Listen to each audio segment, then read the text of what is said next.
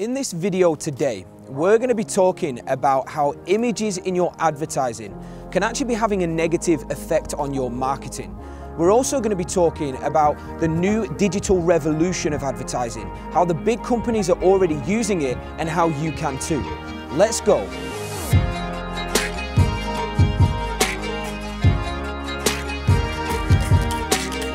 Over the past few years, image advertising has been massively replaced by the use of video marketing.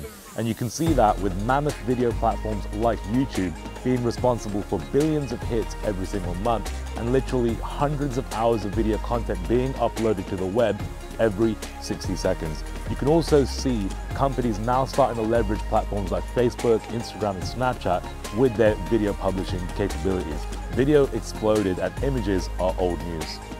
But whilst video has exploded, it also has its drawbacks. It can be expensive to get started if you don't have the equipment, you might have the expertise, and also the confidence to get on camera or use video on your business. You know, you have to have that and you have to do it the right way. So what's the solution here? Where's the middle ground? Well, it's cinemagraphs. Now you may have seen these before and not really known what they are. Here's what they look like. Cinemagraphs are a hybrid between a video and a still photo. So the still photo has moving elements. They are truly mesmerizing, captivating even, and they grab instant attention. There's a reason that big companies and top global brands like IKEA, Panasonic, Coca-Cola, Pepsi, and so many others are using cinemagraphs in their marketing today. It's because cinemagraphs boost clicks, boost traffic, and that means ultimately you make more sales.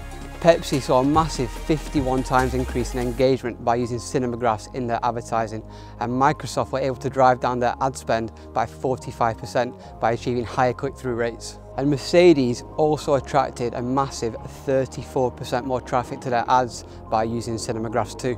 Whilst the big companies are making big bucks with cinemagraphs, you'd be happy to know that they're fairly low cost to make, especially when compared to professional video. And we'd like to give you the keys to making them right now. We've gone ahead and had one of our team create a full tutorial on how you can create your very own cinemagraphs for yourself starting right now today. All you need to do is enter your name and email address on this page and we'll go ahead and send you a free video to your inbox so you can get started right away. In our next video, we're going to show you a brand new way in which you can create cinemagraphs with just a few minutes of your time and just a few clicks of your mouse. But look, till then, go ahead and get that free video, try and create a cinematograph for yourself, and we'll see you in the next video.